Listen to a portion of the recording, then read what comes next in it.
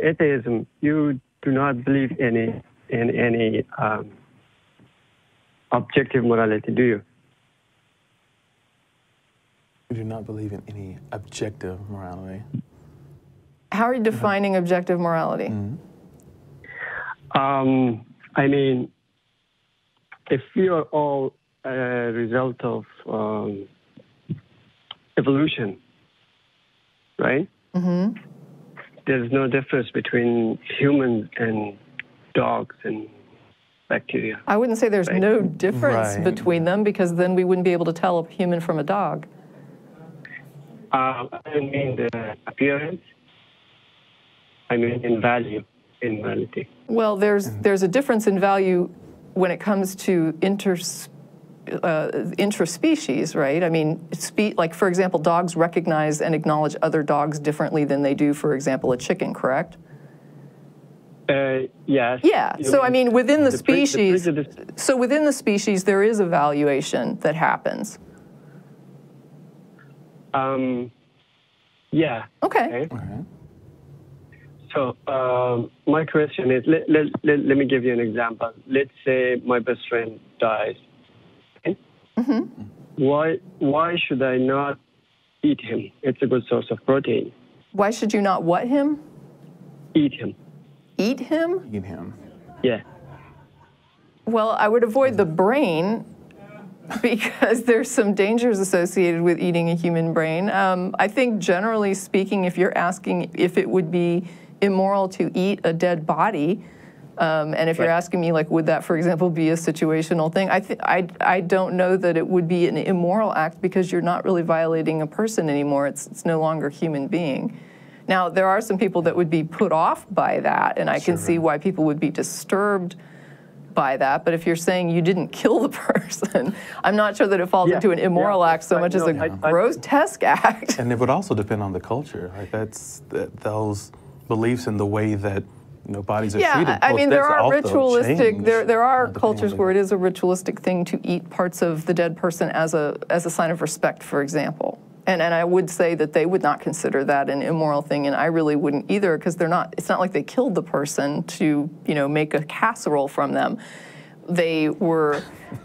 Well, You, know, you understand what I'm saying, right? I mean, so casserole. if you're to me, a moral, a an immoral action has to has to um, somehow elicit harm, mm-hmm. yeah, in, in a way. Now, you could talk about the idea of maybe secondary types of harm where you upset other people that might be, let's say, related to your friend. Sure. So you could look at it from the perspective of how does this impact the relatives or how does this, im- you know, mm-hmm. and, and, and I think that again would be like a cultural contextual thing. Most societies probably would, would consider it really not a good thing to be eating dead people, but um, I'm not sure that I would.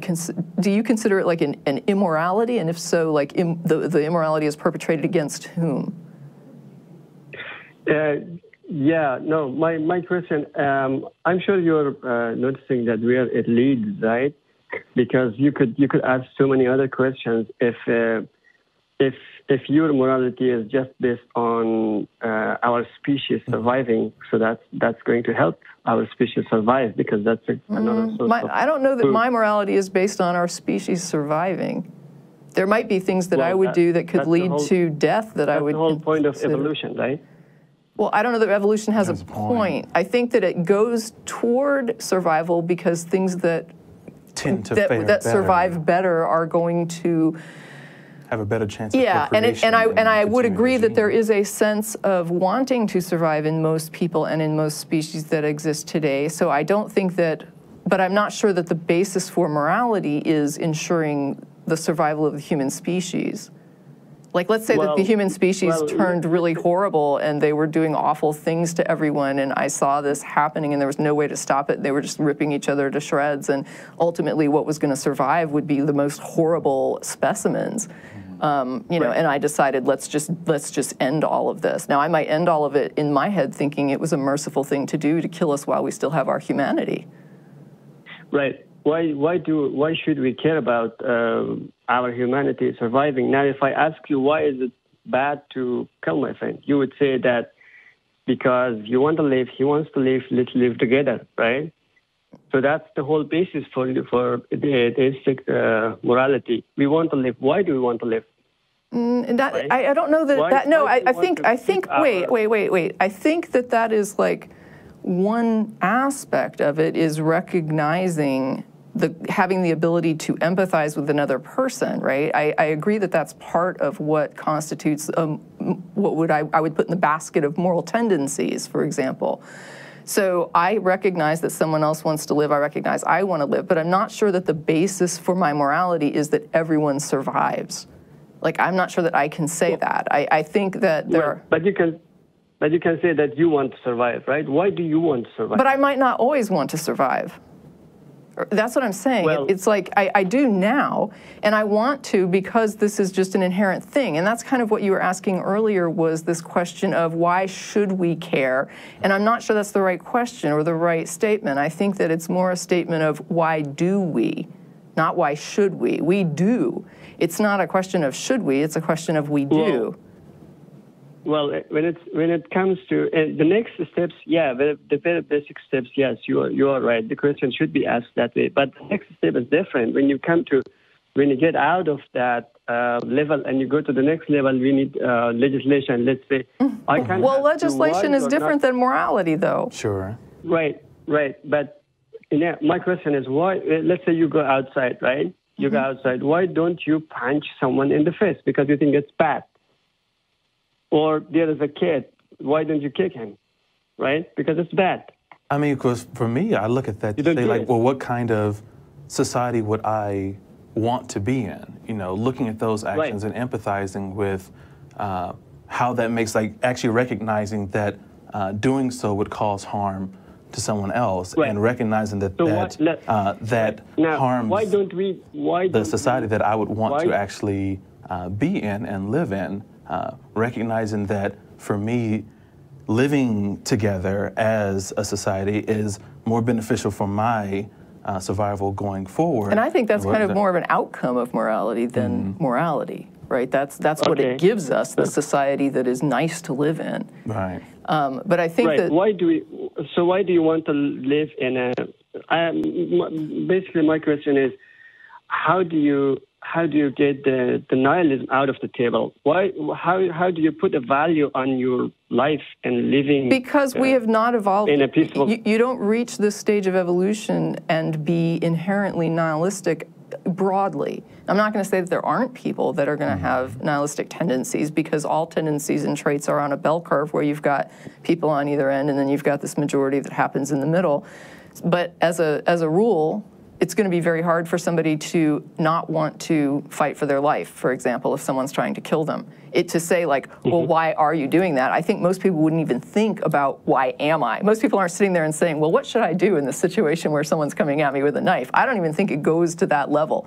I think that you're going to fight for your life nine times out of 10. And like I say, unless you're on the end of that curve, um, because it's just an inherent thing about human beings. And so the question would be, why would you Right. why would you want to ditch it, right? Because it's already Right. there. So now the question is, Yes. why would you want to get rid of it? Not not why would you want to do it? Because doing it is an is an inherent aspect of being a social species. Right, but but uh, with that explanation, there is no value. You cannot put a, a label of good. I or, don't agree that there's no on that. value because a person will fight to the death to protect their life, and I think that's a lot of value that's being demonstrated. Like how you put a value on that? It's just a. I- You put a value Yeah. on it if I'm willing to kill someone to s- save my own life. I mean, that's why- that's a value, right? That it's worth a life to why me to survive, is what why- that would say. Your life would mean anything. I don't understand, I guess, the question. It's, it's inherent. I don't know how else to, to describe it. It is an inherent, act- like if you try to kill a dog, if you try to kill a tiger, it is going to fight for its life. It has a value on its life, and I'm sure that that tiger isn't sitting around reading philosophy and trying to figure out why it cares whether or not it survives. I don't think people are any different. I think we do issue justifications after the fact, but I think the reality is it's just there. Okay, let's let's move on. Uh, I, can I answer one of the questions that I have seen on your shows a lot? Can you answer one? Yeah, sure. Yes, uh, I, I have seen a lot of uh, uh, atheists uh, they say if God created everything, uh, who created God? I have heard that, yes. Yes. Uh, okay, uh, I, will try to uh, make it as simple as I can. Let's say, let's say you, you walk to your home, you open the door, and you see that the floor is wet, right? Okay. Mm-hmm. Uh, somebody has been walking there. It's a, it's a footstep which is wet. At that moment, you can ask that floor why you're wet, and the answer would be a wet shoe was walking on it, right? Okay. and then you go and find the shoe, right? And the shoe is wet. At that time, you can ask that shoe why you're wet, and the answer would be I was walking on a wet grass, let's say. Okay. Mm-hmm. And you go to the grass and you can ask the same question, but that question is valid for, for so long. You, when, you, when you reach the water itself, you cannot ask that question. You cannot ask the water why you're wet, because the water is wet. Otherwise, it wouldn't be water, right? Right. So people exist and they just now, exist, right? And right. asking now, why. Uh, now, if I if I if I add now that we can use that analogy to explain why uh, you cannot ask that same question, the question of uh, who created God. That question is not valid because, let's say, you, if you have a, an iPhone, you can ask who created you. but we can explain why water is wet, right? I mean, there's chemistry to this mm-hmm. and to how people interact with water that makes water wet. I mean, it's our description of the property yes. of water exactly. that what we define I, it I as wet. That's our experience that's our expression. Well, because that's it's our, our experience. Our sure, it's our reality around Who else is going to define it? Right. That's our understanding of water, right? Sure. Okay. Now, exactly. If if you ask um, a human being who created you, that's a valid question. But you cannot ask the same question for God because God is the creation itself, or Himself, or herself or whatever. How do we know this? Right. How, shouldn't we substantiate that first, or just kind of skip right? And I guess part, so. Or? If something yeah. can exist, okay. wait. If, if something can exist without a creator, then why does the creation need a creator? Again, uh, the, the same thing. This, you can go back to the same analogy, right? Why ask the universe why it exists? Exactly. Why do you ask the floor exactly. why floor is wet? Yeah. All right. Well, thanks for your call.